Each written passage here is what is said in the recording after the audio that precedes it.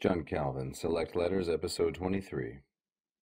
Hoc in parte videmus te bonis quoque ipsis non satisfacere, etiam si nihil aliud sit, in eo tamen peccas, quod his non satisfacis, quibus te dominus constituit debitorem, scis quantum te amemus, quantum te colamus. On this score, hoc in parte, we see that you, notice how Videmus introduces oratio obliqua.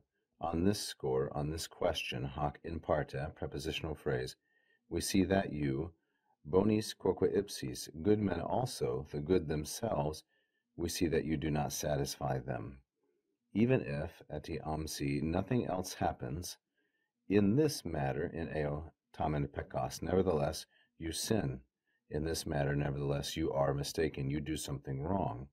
Quod, because, his non satisfacis, you do not satisfy those persons.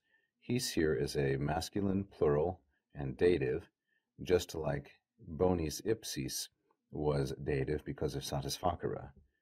So, even if nothing else happens, in this matter, nevertheless, you are mistaken. You sin because you do not satisfy these men. Now, who are these men? Well, His introduces or prepares us for the relative clause which Quibus begins.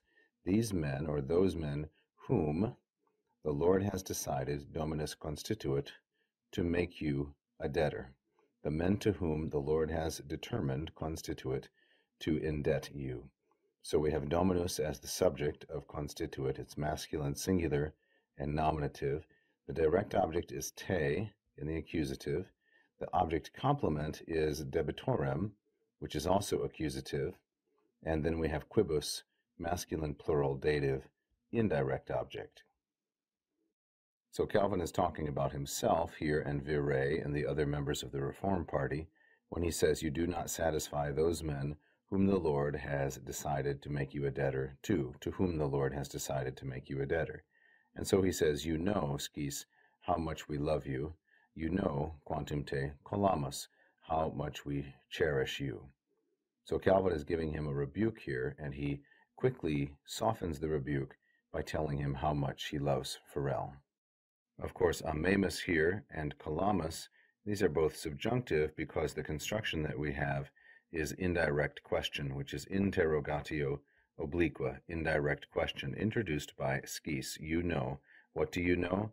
Quantum te amamus, how much we love you, and quantum te colamus, how much we cherish you. Thank you for watching. If you enjoyed the lesson, please press the like button. Don't forget to subscribe and leave a comment.